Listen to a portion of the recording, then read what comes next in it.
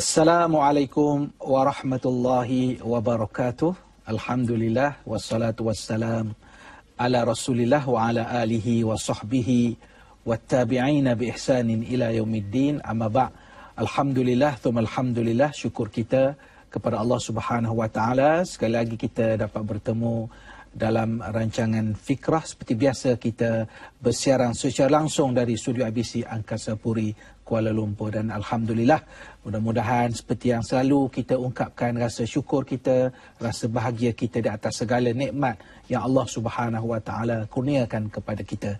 Dan uh, insya-Allah pada hari ini kita akan uh, bersiaran dan kita akan membincangkan dua perkara. Perkara yang pertama ialah kita akan uh, melihat isu yang berlaku kepada umat Islam di sekeliling kita dan yang kedua insya-Allah kita akan memberi fokus kepada tajuk hubbul watan cinta kepada negara. Jadi uh, sebelum kita pergi kepada perbincangan cinta kepada negara, saya akan uh, bersama-sama dengan yang berbahagia Tuan Haji Muhammad Shah Syafi'i iaitu pengerusi uh, Al-Ihtisam Relief Program ataupun ringkasnya ARP.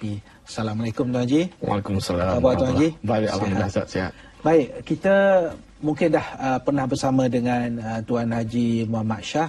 Cuma pertemuan kita pada kali ini kita nak beri lebih fokus kepada uh, pelarian Rohingya dan apatah lagi uh, seperti yang kita ketahui mereka juga uh, baru-baru ini di hujung bulan tujuh ya Tuan ya, Haji ya. menerima ya. lagi satu uh, musibah menerima satu lagi ujian daripada Allah Subhanahu Wa Taala. Mungkin uh, sebagai mukadimah mungkin uh, Tuan Haji boleh uh, menjelaskan kepada kita memberi gambaran apakah keadaan terkini uh, keadaan saudara-saudara kita umat Islam uh, di Rohingya yang uh, saya katakan tadi melalui tribulasi dan juga ujian daripada Allah Subhanahu Wa Taala. Mungkin pencerahan daripada yang berbagi Tuan Haji silakan. Uh, Bismillahirrahmanirrahim. Assalamualaikum warahmatullahi wabarakatuh.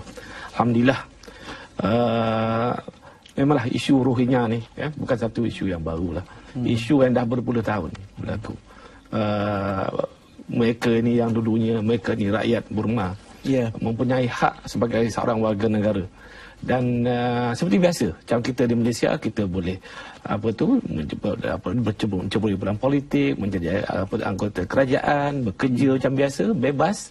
Uh, tetapi pada uh, tahun 1982 hak kerakyatan mereka tu dicabut. 1982 ditarik oleh kerajaan Burma atas alasan atau tuduhan yang mengatakan bahawa mereka ini bukan penduduk asal Burma. Mereka ini adalah pendatang, datang daripada Bangladesh eh, dan uh, disebabkan demikian mereka tak layak.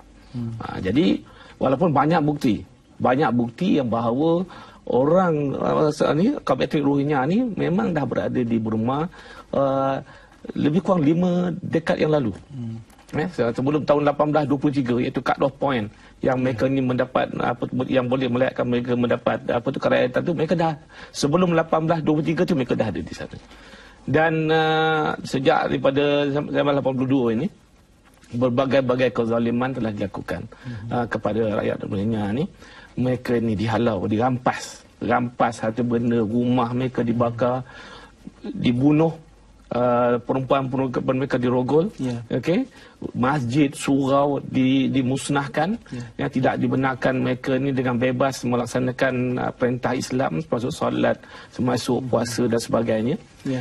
dan uh, baru-baru inilah eh, pada 29 dan 30 uh, Julai sebelum itu pula kita kedengaran bulan Mei yeah. uh, ribuan uh, rakyat Rohingya hanyut di laut. Ya, ada yang sampai di Malaysia, ada sampai di Indonesia. Yeah. Dan pada 29 dan 30 Julai berlaku lagi ujian yang sangat besar kepada umat Islam Rohingya uh, di mana mereka apa tu berlaku ribut taufan. Ribut taufan selaju 120 km sejam. Hmm. Laju tak? Laju.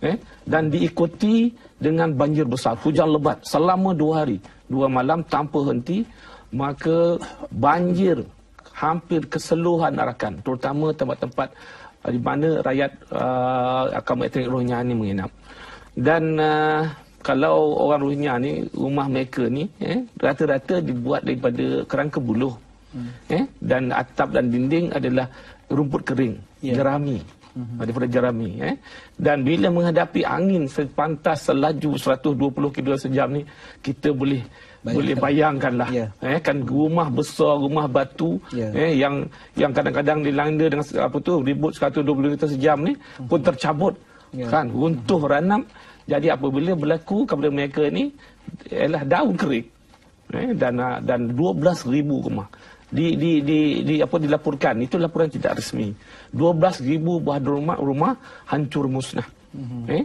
dan uh, daripada uh, sumber yang kami perolehi daripada pimpinan uh, ruhinya tempatan yeah. tidak kurang daripada 12 orang telah mm-hmm. ha, meninggal apa telah matilah dalam dalam dalam peristiwa tersebut mm. malangnya uh, sebab uh, kerajaan Burma melihat yeah. Ruhinya ini bukan rakyat mereka uh-huh. dan tak layak mendapat uh, sokongan dan bantuan lah. Yeah. Oleh demikian tidak ada bantuan kepada mereka apa jenis apa ni termasuk makanan, ubat-ubatan, rawatan dan sebagainya lah. Uh-huh. Jadi hari ini eh, kita nak bercerita kita nak kaitkan yeah. dengan apa yang berlaku sekarang ini yeah. pada mereka ni uh-huh. dengan korban yang akan pada hari korban yang dijadualkan pada 24 uh, 24 hari bulan nantilah insya-Allah. Uh-huh. Eh.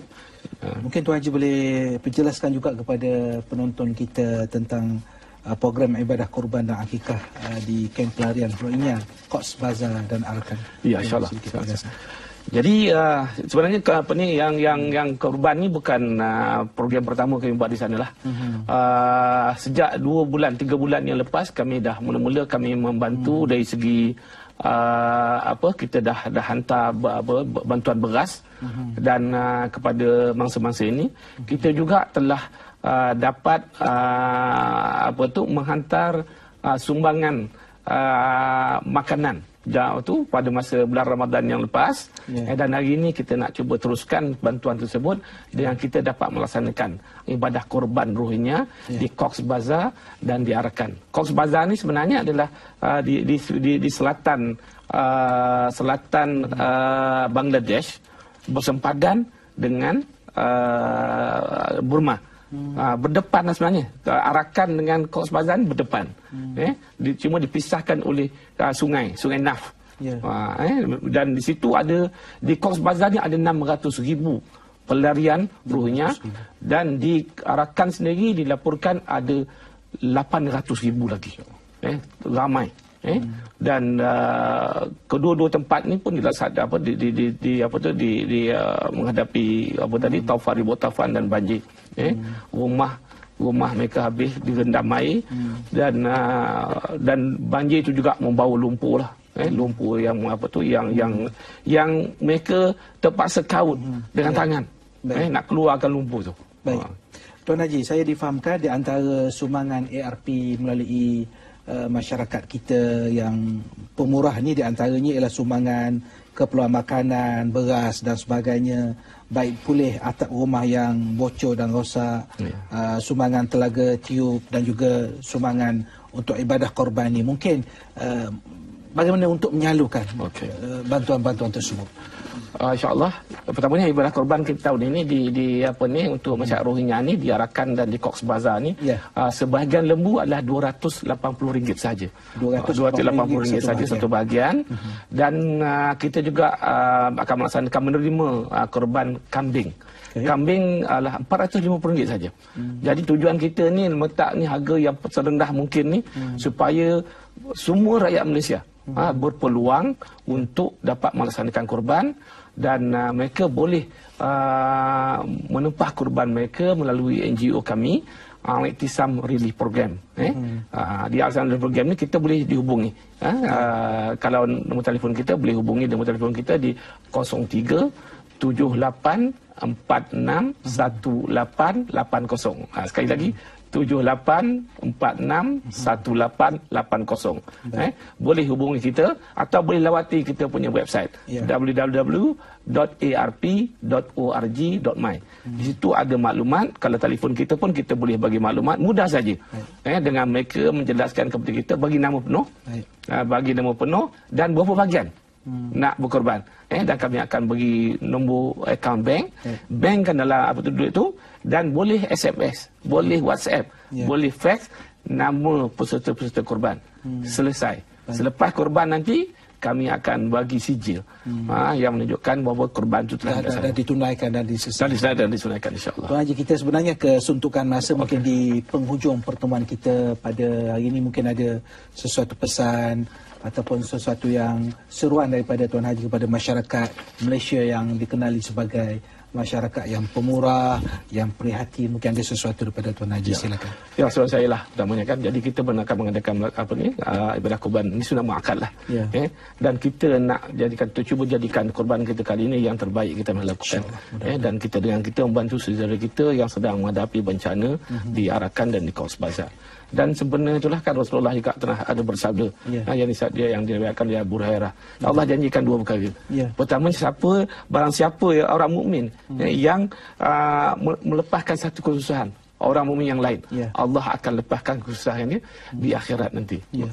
tak ada lagi yang paling susah dalam hmm. kehidupan kita apabila kita tadi tu nanti di akhirat kita kita akan ditanya tentang ibadah kita itulah masa itulah kita harapkan pertolongan daripada Allah SWT insya-Allah. Baik terima kasih banyak kepada yang berbahagia Tuan Haji Muhammad Shah Syafi'i pengurusi ARP ataupun Al-Ihtisam Relief Program yang sudi bersama-sama dengan kita berkongsi uh, pengalaman berkongsi sesuatu yang boleh insya-Allah kita sumbangkan untuk kebaikan ummah, untuk kebaikan masyarakat kita insya-Allah. Jadi terus bersama kami dalam rancangan Fikrah, kita akan berehat seketika dan insya-Allah selepas ini kita akan berbicara topik kasih ataupun cinta kepada negara. Kita jumpa selepas ini.